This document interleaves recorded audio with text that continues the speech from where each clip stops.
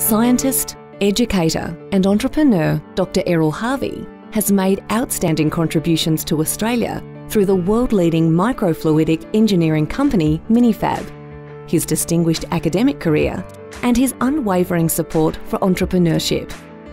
His commitment and enthusiasm for innovation has reached many across the industry, not only in Australia, but worldwide. My father was a mechanical engineer and very hands-on sort of person. So while I loved the research aspect, I wanted to make stuff, I wanted to get it into products in people's hands. So when we started Minifab, our business model was what's called a service business model. So that means that we help others manufacture and develop their products. I think Minifab's an example to people who are interested in Australia in commercialising technology. And one of the lessons from Minifab is that to be internationally competitive, you have to be excellent and quality is everything. So in Australia we have fabulous science and incredible infrastructure and a lot of people who are going through the process of training in that are thinking to become professors and academics. But I think there is a different path you can take, the path of forming a business, of making products, of selling things, um, services. So I'm passionate about entrepreneurship and I think that we need to encourage the best brains in Australia to think about building your own business as, as an option.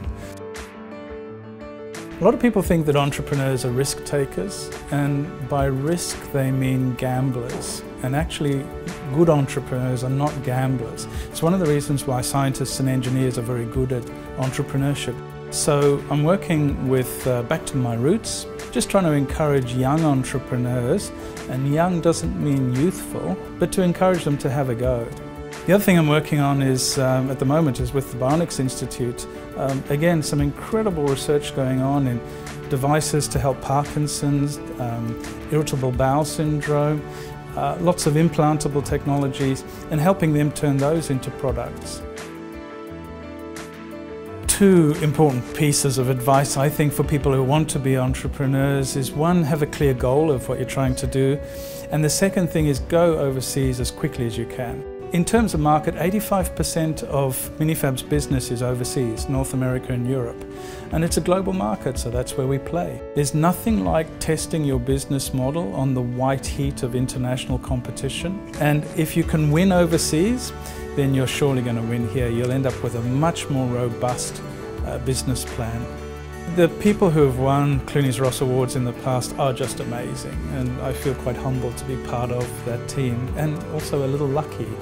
Of course, it's not about me. I couldn't have done this without a lot of other people that have helped.